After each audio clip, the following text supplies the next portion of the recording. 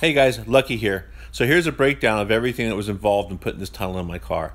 After making the tunnel over at the tech center with a little help from my friend uh, tech center Kaylin, I fitted it to the car probably in and out eight or ten times. I then used a sharpie to uh, a silver sharpie to uh, trace the pattern all the way around the floor.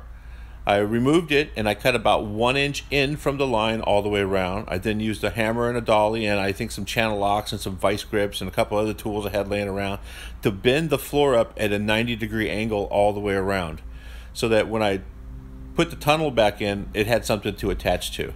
I removed it one more time after fitting it. I used a uh, 3M half inch uh, belt sander, air belt sander, cleaned off all the material where I planned to weld. I then went and got that uh, pneumatic uh, hole punch from Harbor Freight. I punched, I don't know, 100 holes on each side at least.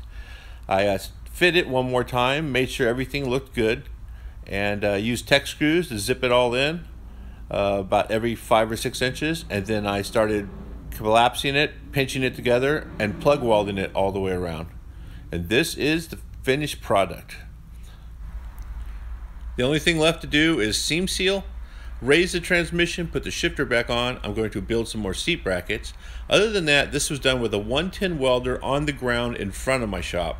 I didn't use the lift, I didn't use a plasma cutter, I didn't use anything special. A bunch of hand tools, some stuff I bought from Harbor Freight. I was lucky enough to use the brake over at the tech center. Thanks a lot, Kaylin.